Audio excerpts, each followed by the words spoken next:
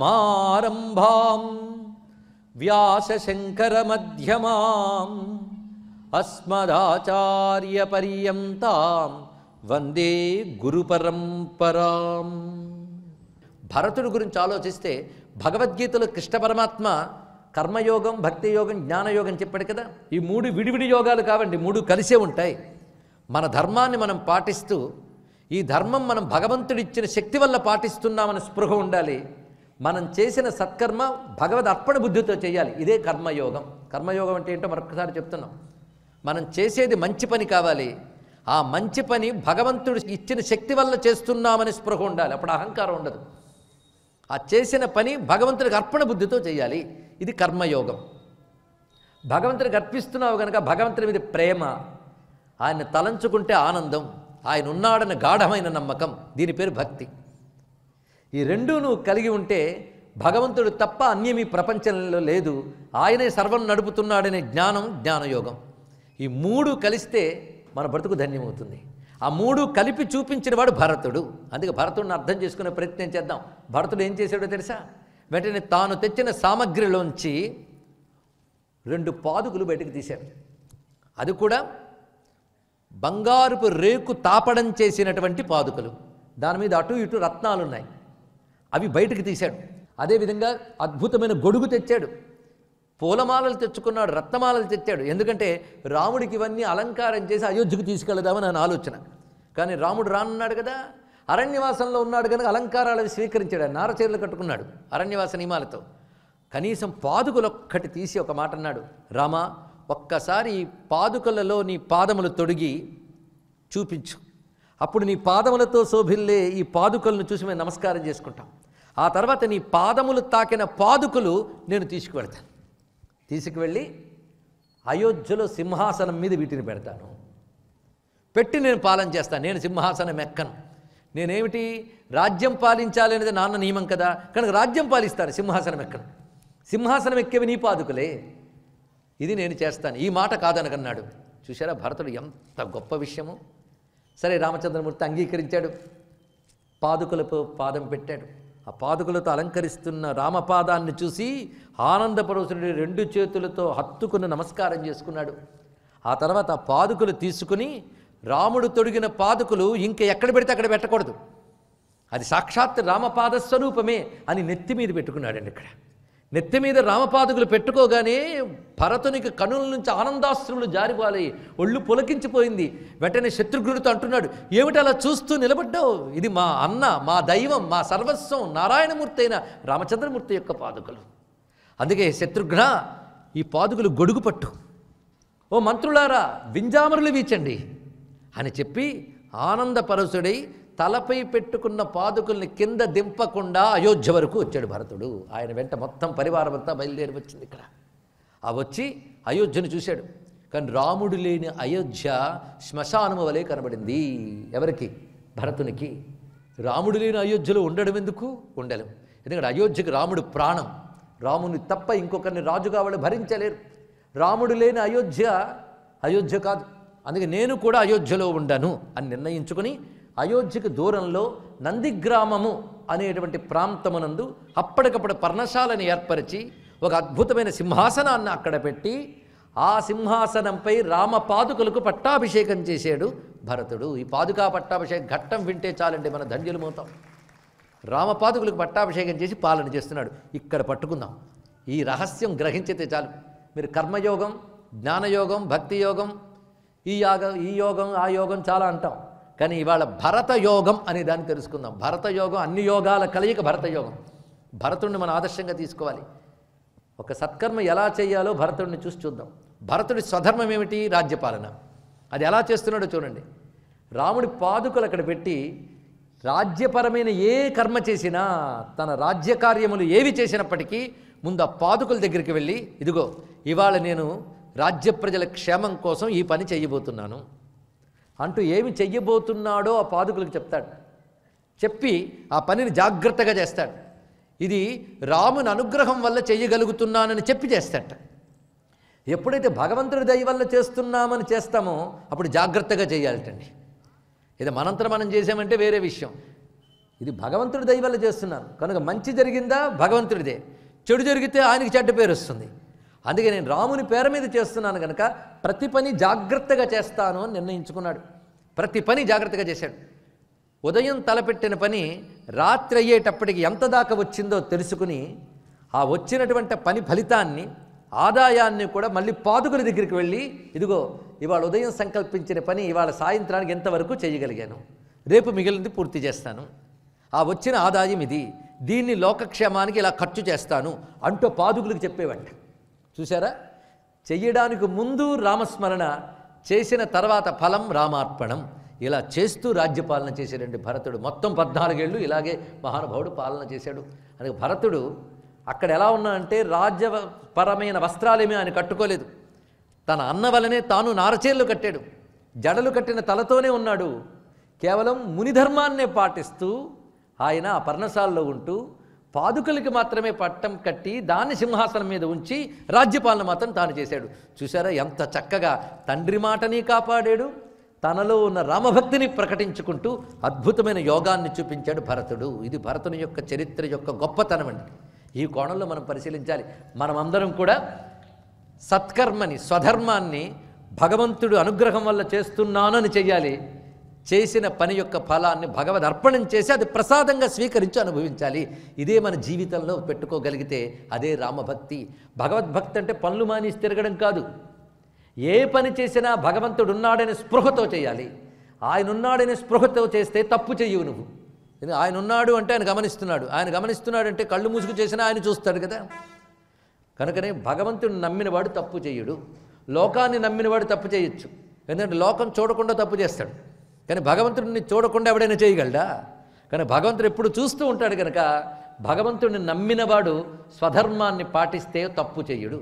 అందుకే సమాజంలో భగవద్విశ్వాసం ఉంటేనే ధర్మం నిలబడుతుంది తెలుసుకోండి ఇక్కడ. అందుకే రాముడో కృష్ణుడో శివుడో భగవద్విశ్వాసం మీ ఇష్టదైవంగా మీరు ఎవరిని ఆరాధిస్తున్నారో వారిని ప్రధానంగా పెట్టుకోండి. ఆయన ఇచ్చిన శక్తి చేతే నేను చేస్తున్నాను ఏ పనైనా చేయండి. ఆయన వల్ల చేశాను కనుక ఈ ఫలం ఆయనకే అర్పణం ఇచ్చి అది ప్రసాదంగా నువ్వు అనుభవించు. ఇలా జీవిస్తే మన జీవితం భరతుడు చెప్పిన అద్భుతమైన యోగం అవుతుంది ఇదే పెద్ద యోగం ఇదే భరత యోగం ఇదే భక్తి యోగం ఇదే కర్మయోగం ఇదే జ్ఞానయోగం ఇదే ధ్యాన యోగం ఇదే భారతీయ సనాతన ధర్మం ఇదే హిందూ ధర్మం యొక్క సారాంశం. ఇది గ్రహిస్తే చాలు. ఇలా భరతుడు అక్కడ ఉన్నాడు. ఇంకా మన రామచంద్రమూర్తి చిత్రకూట పర్వతం నుంచి క్రమంగా దండకారణ్యం వైపు బయలుదేరి వెళ్ళాడు. ఆ వెళుతూ ఉండగా అత్రి మహర్షి అనసూయమ్మ ఆశ్రమం తారసపడింది. రామకథలో ఇది చాలా అద్భుతమైన మలుపు. అత్రి మహర్షి అనసూయమ్మ వాళ్ళు ఇప్పటి వరకు అది యుగాల నుంచి ఉన్నటువంటి మహర్షులు. రాముడు చూసిన ప్రతి మహర్షి వేల వేల ఏళ్ళ వయస్సు కలిగిన వారు. ఇప్పటికీ ఉన్నారు అలాంటి వయస్సు కలిగిన యోగులు మహర్షులు. తెలుసుకోండి. ఆ దండకారణ్యంలో వారు ఉన్న ఆశ్రమం వద్దకు సీతారామ లక్ష్మణులు ముగ్గురు వచ్చారు. వచ్చి అతి వినయంగా అత్రి మహర్షికి నమస్కారం చేశారు. చేసిన వెంటనే అత్రి మహర్షి ఆనందపరచుడైపోయాడు నారాయణుడైన రామచంద్రమూర్తిని చూసిన వెంటనే. ఆతిథ్యం ఇచ్చాడు ఇచ్చి రాముణ్ణి చూసినప్పుడు అత్రికి ఎలాంటి భావం కలిగిందంటే పుత్రుణ్ణి చూసినంత ఆనందం కలిగింది. అయ్యా అని వర్ణిస్తాడు వాల్మీకి. అందులో ఒక రహస్యం ఉంది. వెంటనే రామలక్ష్మణులతో ఒక మాట అంటాడు. నా భార్య అనసూయమ్మ మహాపతివ్రత తపశ్శక్తి సంపన్నురాలు. ఒకప్పుడు లోకానికి ప్రమాదం ఏర్పడితే దేవతలు వచ్చి అనసూయమ్మని శరణు వేడారు. అంత గొప్ప మహాత్మురాలు ఆవిడ. అప్పుడు ఆ తల్లి తన తపశ్శక్తితో లోకానికి క్షేమం కలిగించింది. అంత పరమ పూజ్యురాలు. ఆమె ఆశీర్వచనం తీసుకోవడం నీకు చాలా మంచిది సుమా. సేయం మాతేవ తేనఘా అంటాడు అక్కడ అత్రి. ఇది ఒక రహస్యమైన విషయం అండి. సేయం ఆమె నీకు తల్లి వంటిదయ్యా ఓ అనఘా అన్నారు. అనఘా అంటే పాపము లేనివాడా? ఇది అర్థం. ఏ పాపము లేని ఓ రామచంద్ర ఆమె అనసూయమ్మ నీకు తల్లి వంటిది అన్నాడు. రాముణ్ణి చూస్తే ఈయనకు పుత్రభావం కలిగింది. ఆ రాముడితో అంటున్నాడు ఆమె నీకు తల్లి వంటిది అని. ఇందులో ఉన్న ఆంతర్యం ఏంటో పరిశీలించారా? ఈ తల్లి వంటిది అనడంలో విషయం ఏమిటి? పుత్రుడి వలే కనబడ్డాడంలో ఆంతర్యం ఏమిటి? పైగా అనఘా అని పిలిచాడు. అనఘా నామ ఎవరిదో తెలుసా? అందుకే రామాయణంలో రహస్యాలు ఇవి. అనఘ. అంటే దత్తాత్రేయుడి పేరు అనఘ అంటే అర్థం. అనఘ అంటే దత్తాత్రేయుడు. అనఘ అంటే దత్తాత్రేయుని భార్య అయిన మహాలక్ష్మీదేవి. అనఘ అనఘ. అనఘుడు ఆయన. అనఘ అని పిలిచాడంటే అత్రి అనసూయుల పుత్రుడు దత్తుడు. ఆ యుగంలో అత్రి అనసూయులకు పుత్రుడుగా నారాయణ దత్తుడిగా పుట్టాడు. ఆ దత్తుడే కౌసల్యా దశరథులకు రాముడిగా అవతరించాడు గనక ఆయన చూసిన వెంటనే మళ్ళీ ఈయనకు పుత్రుల్లా అనిపించాడు. అనసూయమ్మ తల్లి వంటిది అనడానికి కారణం ఇదండి. ఇది రహస్యం పట్టుకోవాల్సింది. కనుక రాముల్లో ఎవడు కనబడ్డాడు? దత్తాత్రేయులు ఎవరు కనబడ్డారు? కానీ వంటిది అన్నారే తప్ప నా పుత్రుడు నీ తల్లి అని మాత్రం అనలేదు చూడండి ఇక్కడ. ఎందుకంటే అప్పుడు మా పుత్రుడివి. ఇప్పుడు దశరథ పుత్రుడివి కదా. విష్ణువు గనక దత్తుడు రాముడు అనేది నిజం. కానీ ఇప్పుడు పుత్రుడిగా వాళ్ళకు పుత్రుడు అయ్యే గనక వలే వంటి అని మాట్లాడాడు. ఇది రహస్యం. ఇంకొక రహస్యం. రామచంద్రమూర్తి ఆ సమయంలో ఏ వేషంలో ఉన్నాడో కొంచెం గుర్తు తెచ్చుకోండి. ఋషి వేషంలో ఉన్నాడు. నారచీరలు కట్టుకున్నాడు. జటాజూటం ధరించి ఉన్నాడు. కనుక దత్తాత్రేయుడి స్వరూపం అలాగే ఉంటుంది. తేడా ఎక్కడొచ్చిందంటే ధనుర్బాణాలు పట్టుకున్నాడు. అది విశేషమైన అంశం ఇక్కడ. అదే తీసేస్తే అని దత్తుడే. అది పట్టుకున్నాడు కనుక రాముడు. ఇక్కడ అందరం తెలుసుకోవాల్సింది ఏంటంటే రాముని ఆరాధించడం దత్తాత్రేయ ఉపాసనతో సమానమే. రామారాధన దత్తాత్రేయ ఉపాసన ఒక్కటే ఇది ఒక రహస్యమైన అంశం. కనుక ఎవరు రామభక్తులో వాళ్ళు దత్తాత్రేయ భక్తులే. దత్తాత్రేయుడి జ్ఞానావతారం రాముడు ధర్మావతారం. ఈ ధర్మజ్ఞానావతారాలు కలిసిపోయి రామచంద్రమూర్తిలో దర్శనం చేశాడు అత్రి మహర్షి. మనం కూడా ఆ విధంగానే దర్శనం చేద్దాం. రామచంద్రమూర్తిని దత్తాత్రేయుడి భావనతో కానీ మనం నమస్కారం చేస్తే ఆయన మనకి జ్ఞానాన్ని ముక్తిని కూడా ప్రదానం చేస్తాడు ఇక్కడ. అంటే దత్తాత్రేయుడు గురుస్వరూపం. రాముడు కూడా గురువే ఇది తెలుసుకోవాలి. రాముడు గురువు. రాముణ్ణి ఎవరైతే గురువుగా భావిస్తారో ఒక గురువు బుద్ధిని ఎలా తీర్చిదిద్దుతాడో రాముడు మన బుద్ధిని అలా తీర్చిదిద్ది ముక్తినిస్తాడు గురువై అనుగ్రహిస్తాడు. అందుకే రాముణ్ణి తల్లిగా తండ్రిగా గురువుగా కూడా మనం నమస్కరించాలి. త్వమేవ మాతా చ పితా త్వమేవ అన్నట్లుగా. మాతా రామో మత్పితా రామభద్ర. భ్రాతా రామో మత్సఖా రామచంద్ర. సర్వస్వం మే రామచంద్రో దయాళు నాణ్యం దైవం నైవ జానే నజానే మన అన్ని సంబంధాలు రాముడితోనే పెట్టుకోవాలండి. నా తండ్రి నా తల్లి నా దైవం నా ఆచార్యుడు అన్నీ రాముడే. అందుకే రామచంద్రమూర్తిలో మనం వాళ్ళ ఆచార్య స్వరూపాన్ని చూసాం. రామచంద్రమూర్తి మన గురుస్వరూపంగా సాక్షాత్కరించాడు. కనుక రాముణ్ణి మీరు ఎలా భావిస్తే అలా రక్షించుకుంటాడు? అందుకే అత్రి అనసూయల ఆధారంలో ఇంత విషయం ఉన్నది. ఎప్పుడైతే అనసూయమ్మని రామచంద్రమూర్తి చూశాడో సీతాలక్ష్మణ సమేతుడే ఆయన నమస్కారం చేశాడు. అనసూయమ్మ సీతమ్మని ఒక్కసారి చూసి దగ్గరికి తీసుకుని కుటీరంలోకి వెళ్ళిపోయింది ఆవిడ. సీతమ్మను పట్టుకుని వెళ్ళిపోయింది. ఇంకా సీతమ్మను కూర్చోపెట్టి మురిసిపోయిందండి ఆవిడ తల్లి. మురిసిపోయి ఒక మాట అంటోంది సీతమ్మతో. నేను కొన్ని వార్తలు విన్నాను.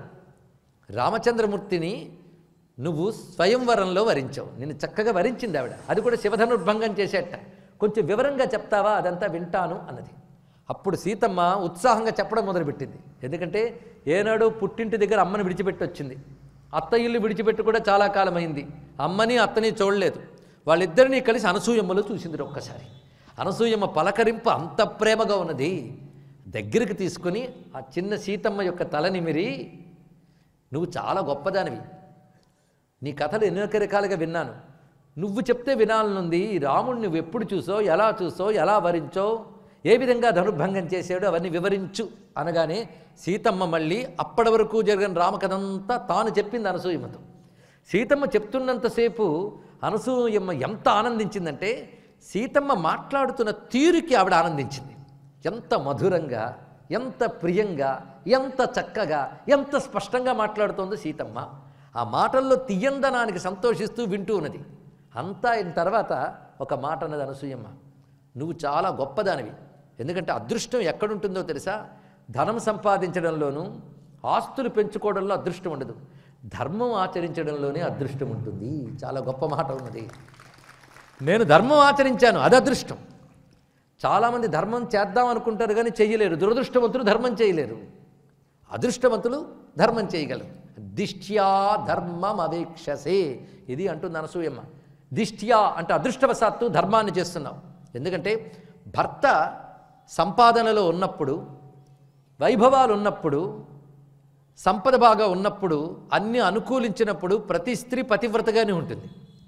కానీ భర్తకు సంపాదన తగ్గినప్పుడు చేతకానవాడైనప్పుడు అప్పుడు కూడా భర్తనే గౌరవిస్తే ఆ స్త్రీ పతివ్రత అనాలి. నీ భర్త రాజ్యాన్ని కోల్పోయాడు అన్నీ విడిచిపెట్టాడు. అయినా ఆయన విడిచిపెట్టని వచ్చేవే ఇది గొప్ప ధర్మం. నువ్వు చాలా గొప్పదానివి. రాముని వెంట అలా విచ్చేసావు అంటే అమ్మా నువ్వు ఆ మాట అనడం పెద్దదానివి కనుక అంటున్నావు కానీ అంత గొప్పదనం నా దగ్గర ఏమీ లేదు. రాముడి లాంటి భర్త దొరికితే ఏ స్త్రీ అయినా పతివ్రతగానే ఉంటుంది. ఎందుకంటే రాముడు అంటే ఎవరనుకున్నావు? సర్వసమర్థుడమ్మా రామచంద్రమూర్తి. ఆయన అన్నీ వదిలి అడవికొచ్చాడు అనకు ఆయనకి సాధ్యం కానిది లేదు. ఆయన సర్వసమర్థుడు. రాముడు లాంటి సర్వసమర్థుడు దొరికాక నేను పతివ్రతగా ఉండకపోతే దోషం. పతివ్రతగా ఉండడంలో గొప్పతనం ఏమీ లేదు. రాముడు లాంటి పతి ఉంటే ఏ స్త్రీ అయినా పతివ్రతగానే ఉంటుంది. అది అదండి సీతమ్మ గొప్పతనం. చూసారు? ఇంత ఇసుమంత కూడా రాముడి గురించి తక్కువగా మాట్లాడలేదు. పైగా రాముడు ఎవరనుకున్నావు? సర్వసమర్థుడు తల్లి. సానుక్రోశ జితేంద్రియ. ఆయన దయామయుడు. ఇంద్రియ నిగ్రహం కలిగినవాడు. పైగా రాముని వివాహమాడిన దగ్గర నుంచి నాకు మా అమ్మ నాన్న ఇద్దరూ గుర్తు రావడం లేదు తెలుసా? మా అమ్మ కంటే నాన్న కంటే ప్రేమగా చూసుకుంటాడు నన్ను. అది రామచంద్రమూర్తి యొక్క దయ. అలాంటి రామచంద్రమూర్తి రక్షణలో నేను ఉన్నప్పుడు మహామహా సామ్రాజ్య వైభవాలు కూడా చిన్నవే. రాముని సన్నిధి సామ్రాజ్యం కంటే గొప్పది తెలుసు. తెలుసుకో. అందుకు అమ్మ నేనేం రాముడి దగ్గర ఉండడమే నా భాగ్యం అంటే మురిసిపోయింది అనసూయమ్మ నిజంగా ఒక మహాత్మురాలు ఎలా మాట్లాడాలో అలా మాట్లాడు. నువ్వు వయస్సులో చాలా చిన్నదానివి కానీ బుద్ధిలో చాలా గొప్పదానివి. ఎంత చక్కగా మాట్లాడేవని ప్రేమతో చివురున్ చెక్కిలి కొట్టి మౌనిసతి ఓసి ఏమి బెడంగు మాటలే. చివురున్ చెక్కిలి కొట్టి మౌనసతి ఆ ప్రేమగా సీతమ్మ చెక్కిలి మీద అలా కొట్టింది అనసూయమ్మ కొట్టి ఎంత తీయగా మాట్లాడేవమ్మా. నీకేదైనా ఇవ్వాలనిపిస్తుంది. ఇంటికి ముత్తైదవ వచ్చినప్పుడు ముత్తైదవ ఏదైనా సారే ఇవ్వడం అనేది అప్పటి నుంచి ఉంది చూడండి సంప్రదాయం. నీకేదైనా ఇవ్వాలనుంది కోరుకో నేను ఇస్తాను. నా తపస్సుతో ఏదైనా ఇవ్వగలిగే శక్తి నాకున్నది. నువ్వేదైనా కోరుకో నేను ఇస్తాను. నా తపస్సు వల్ల ఇస్తానంటే సీతమ్మ గొప్ప మాట ఉంది అమ్మా నాకివ్వడం కోసం నీ తపస్సు ఎందుకు ఖర్చు పెట్టుకోవడం తల్లి? నేను తపస్సు చేసుకునేటట్లు నన్ను ఆశీర్వదించు అన్నదండి తల్లి. ఎంత గొప్పగా మాట్లాడుతుందో చూడండి. వెంటనే అనసూయమ్మ అద్భుతంగా చెప్పు. నీ వంటి దానికి నేనేదైనా ఇచ్చాననుకో నా తపస్సు మరింత పండుతుంది అని చెప్పి ఒక్కసారి ఆమె సంకల్పించి చెయ్యి చాచింది. ఆ చేతిలో దివ్యమైన వస్త్రములు ఒక పల్లెరంలో వచ్చాయి. ఆ వస్త్రములతో పాటు చందనము కుంకుమ పసుపు గాజులు ఈ మంగళకరమైన ద్రవ్యములన్నీ వచ్చాయి. వాటిని తీసుకొచ్చి ఇవి తపస్సుతో వచ్చినటువంటివి గనక వీటిని ఒక్కసారి కట్టుకుని అలంకరించుకుని రా అని చెప్పి కుటీరం లోపలికి పంపింది సీతమ్మని. సీతమ్మ అవన్నీ అలంకరించుకుని బయటకు వచ్చి అనసూయమ్మ ముందు నిలబడింది. అనసూయమ్మ ఆనందంతో దగ్గరికి తీసుకుని ఎంత చక్కగా ఉన్నావో. ఒక్క మాట చెప్తున్నాను. ఈ వస్త్రము ఎప్పుడూ ధరించు నువ్వు. ఈ వస్త్రంలో తపశ్శక్తి ఉంది. ఇది నిన్నెప్పుడూ రక్షిస్తుంది. ఈ వస్త్రం బయటకు చూడ్డానికి ఇతరులకి మాసినట్టు నలిగినట్టు కనబడ్డప్పటికీ కూడా ఈ వస్త్రంతో నిన్ను రాముడు చూస్తే మాత్రం నిత్య నూతనంగా కనబడతావు నువ్వు అని అనసూయమ్మ చెప్పిందండి. ఆ వస్త్రము ధరించి అనసూయమ్మతో పాటు బయటకు వచ్చింది సీతమ్మ. బయట అంతవరకు అత్రి మహర్షితో మాట్లాడుతున్నారు రామలక్ష్మణులు. కుటీరం నుంచి వస్తున్నటువంటి సీతా అనసూయమ్మల్ని దూరం నుండి చూశాడు రాముడు. సీతమ్మ యొక్క ఆ అలంకారపు శోభ చూసి ఆశ్చర్యపోయాడు. ఆ తర్వాత సీతమ్మని రాముడు పక్క నిలబెట్టింది అనసూయమ్మ. ఇద్దరిని చూసి మురిసిపోయి నొక్కుకుంది తలని. ఆ తర్వాత మంగళహారతి ఇచ్చింది సీతారాములకు. వాళ్ళు ఆ తల్లిదండ్రులకు నమస్కారం చేసుకుని అక్కడి నుంచి వెళ్ళారు. రమ్యమైన సన్నివేశం. అక్కడ అనసూయమ్మ ఇచ్చిన వస్త్రములే సీతమ్మ రావణాసురుడు అపహరించినప్పుడు కూడా ధరించినవి. ఆ వస్త్రంతోనే ఆవిడ అశోకవనంలో కూర్చున్నది. ఇది గుర్తుపెట్టుకోవాలి. అందుకే ఆవిడకి అటువంటి రక్షణ కూడా లభించినది. ఆ వస్త్రములకు చాలా ప్రాధాన్యం ఉన్నది. అటువంటి పవిత్రమైన వస్త్రములు. అందుకే రామాయణంలో అత్రి అనసూయల యొక్క కలయిక ఒక అద్భుతం. ఇక్కడ రామ మహిమ మనకి దత్త రూపంతో కనబడుతున్నది ఆచార్య రూపంతో. ఆ తర్వాత దండకారణ్యంలోకి ప్రవేశించాక అనేక మంది మహర్షులు ఉన్నారు అక్కడ. ప్రతి మహర్షి కూడా రాముని కంటే పెద్దవాడే యుగాల నుంచి ఉన్నవాళ్ళే. వాళ్ళు రాముడి కోసం ఎదురు చూస్తున్నారు అక్కడ. చూసారా? వీళ్ళందరూ అయోధ్యకు వెళ్ళి రాముడిని చూడలేదు. వాళ్ళందరి కోసం రాముడు వచ్చాడు చూడండి. మన మానాన మనం సాధన చేసుకుంటే మన కోసం భగవంతుడు వైకుంఠం నుంచేనో వస్తాడు తెలుసుకోండి ఇక్కడ. అని అయోధ్య నుంచి తాను కదిలి వచ్చాడు దయామయుడైన రామచంద్రమూర్తి. ఇలా రామచంద్రమూర్తి వస్తూ ఉంటే దూరం నుంచి ఒక దృశ్యం కనబడింది సీతారామ లక్ష్మణుల ముగ్గురికి. శరభంగ మహర్షి యొక్క ఆశ్రమం. ఆశ్రమ ప్రాంతం వద్ద కొంచెం దూరంలో ఒక రథం నిలబడి ఉంది. ఆ రథం గుర్రములు ఉన్నాయి ఆకుపచ్చని గుర్రములతో ఉంది రథం. ఆ రథచక్రాలు భూమికి తగలడం లేదుట. అంటే ఆ రథం దిగి ఒక ఆయన ఆశ్రమంలో శరభంగ మహర్షితో మాట్లాడుతున్నాడు. రామచంద్రమూర్తి దూరం నుండి చూశాడు ఈ రథాన్ని. చూసిన వెంటనే లక్ష్మణస్వామితో చెప్తున్నాడు మన వేదంలో చదువుకున్న ఒక రథం గురించి అది ఇక్కడ కనబడుతోంది చూడు. ఆ రథం ఇంద్రుని రథం. అది ఇంద్రమూర్తి యొక్క రథాన్ని వేదంలో వర్ణించారు. ఆ రథమే అక్కడ ఉన్నట్టుంది. అంటే ఇంద్రుడు లోపల ఉన్నాడనమాట. నేను ఇప్పుడు ఆ మహర్షి ఆశ్రమానికి వెళితే ఏకకాలంలో ఇద్దరు మహాత్ముల్ని చూడవచ్చు. ఒకటి శరభంగ మహర్షిని ఇంకొకటి ఇంద్రుణ్ణి అని రాముడు తొందరపాటుతో వెళుతూ ఉంటాడు. దూరం నుంచి ఇంద్రుడు చూస్తాడు. ఇంద్రుడు చూసి శరభంగ మహర్షితో చెప్తాడు ఇప్పుడు ఆయన వస్తున్నాడు. నేను ఇప్పుడు ఆయన కంట కనబడకూడదు. నేను వెళ్ళిపోతాను. ఎందుకంటే ఆ వచ్చినవాడు అవతారం పూర్తయ్యాకే నేను కనబడాలి. అంతవరకు నేను కనబడకూడదు. నేను వెళ్ళిపోతాను ఇంద్రుడు వెళ్ళిపోయాట. రాముడు వెళ్ళేటప్పటికి ఇంద్రుడు లేడు. ఇలాంటి చోట్లేనే రామాయణంలో రహస్యాలు ఉంటాయండి రాముడు మానవుడా మాధవుడా అని తేలిపోతుంది ఇలాంటి చోట్లే. ఎందుకంటే ఇంద్రుడు ఎందుకు వెళ్ళిపోయాడు? ఉండొచ్చు కదా? అంటే ఇంద్రుడికి రాముడు ఎవరో తెలుసు. ఇప్పుడు రాముడు రాగానే నారాయణ అనాలా రామ అనాలా? కొంచెం అందుకు ఆయన నారాయణ ఎందుకు ఇంద్రుడు పైవాడు కదా విష్ణువు. ఇప్పుడు రామరూపం ధరించి వచ్చినప్పటికీ ఆయన విష్ణువే అని తెలిసినప్పుడు గౌరవించి చూడాలి. అప్పుడు రాముడు నరుల్లా ప్రవర్తించాడు నారాయణలా ప్రవర్తించాల్సి వస్తుంది. రాముడు నారాయణలా ప్రవర్తిస్తే రావణ వధ వరకు నరుల్లా ఉండాలి కదా నియమం అది కుదరదు. ఆ కారణం చేత ఇంద్రుడు వెళ్ళిపోయాడు. ఇది రహస్యం అండి ఇక్కడ తెలుసుకోవాల్సినది. ఇలాంటి రహస్యాలు రామాయణంలో ఉంటాయి. అలా చదివితే రామాయణం రాముడు నారాయణుడని వాల్మీకి ఉదయం అని తెలుస్తుంది మనకి. కేవలం రాముడు మానవుడు అనుకునే వాళ్ళకి ఇలాంటి ఘట్టాలతో బోధ లభిస్తుంది. మానవుడిలా ప్రవర్తిస్తున్న మాధవుడే రాముడు అని మళ్ళీ గ్రహించాం. మొత్తానికి శరభంగ మహర్షి ఇంద్రుడు వెళ్ళిపోయిన వార్త వేవి చెప్పలేదు ఆయన. అవును ఆ ఇంద్రభగవానుడు మీ దగ్గరికి వచ్చారు కదండి ఆయన వెళ్ళిపోయారు. ఎందువల్ల వెళ్ళిపోయారు? మిమ్మల్ని దర్శించినందుకు మాకు ఆనందంగా ఉంది. ఆ ఇంద్రుడే కదా వచ్చినాయన అని అడిగాడు. అడిగితే అవునాయన ఇంద్రుడే వచ్చాడు. ఎందుకు వచ్చాడో తెలుసా? నేను చాలా కాలం నుంచి తపస్సులు యజ్ఞాలు చేస్తున్నాను. నా తపస్సులకి యజ్ఞాలకి ఫలితంగా అనేక ఊర్ధ్వలోక పుణ్యలోక సుఖాలు నా కోసం ఎదురు చూస్తున్నాయి. ఇంద్రుడు స్వయంగా వచ్చి నువ్వు ఇన్ని తపస్సులు చేసావు పుణ్యలోకాలకి రా నన్ను పిలవడానికి వచ్చాడు. ఇది ఆయన రావడం వందోసారో రెండు వందలోసారో అన్ని మార్లు పిలిచాడు నాకు. అంటే అంత తపస్సు నా దగ్గర ఉంది. ఆయన వచ్చిన ప్రతిసారి నేను ఒక మాట అన్నాను. నువ్వు నన్ను తీసుకువెళ్ళి ఉత్తమ లోకాలకు తీసుకెళ్తాను అంటున్నావు కానీ నారాయణుడు రాముడై అవతరిస్తాడు కొన్నాళ్ళలో ఆయన ఇటు వస్తాడు. వచ్చినప్పుడు ఆయన్ని కళ్ళారా చూసి అప్పుడు వస్తానని చెప్పాను వాళ్ళకి అందుకోసం రాముడు రాక కోసం ఎదురు చూస్తున్నాను ఎందుకంటే నేను పుణ్యలోకాలకి వైకుంఠానికి వెళ్తే విష్ణువుని చూడొచ్చేమో. కానీ రాముడిగా విష్ణువుని చూడాలంటే భూమిలోకంలోనే నేను ఉండాలి. కనుక కానీ వచ్చే కాలం వరకు ఉంటానని అప్పటి నుంచి తపస్సు చేస్తున్నాను ఇన్నాళ్ళ తపస్సు ఫలితంగా నిన్ను చూశాను రామా. ధన్యుణ్ణయ్యాను. ఇప్పుడు ఇక్కడి నుంచి నువ్వు సుతీక్ష్ణ మహర్షి ఆశ్రమానికి వెళ్ళు. అక్కడ కొంతకాలం ఉండు అంత బాగుంటుంది ఆ ఆశ్రమం అని చెప్పి ఇక్కడ నువ్వు ఉంటూ ఉంటే నీ ఎదురుగుండానే నేను నా ఈ శరీరాన్ని త్యజిస్తాను అని చెప్పి అక్కడ తన తపశ్శక్తితో అగ్నిని రగిల్చి శరభంగుడు భౌతిక శరీరాన్ని అందులో విడిచిపెట్టి దివ్య శరీరంతో చూస్తూ ఉండగా ఊర్ధ్వలోకాలకు వెళ్ళిపోయాడు అక్కడ. ఆ తర్వాత రామచంద్రమూర్తి బయలుదేరి సుతీక్ష్ణ మహర్షి ఆశ్రమానికి వెళ్ళాడు.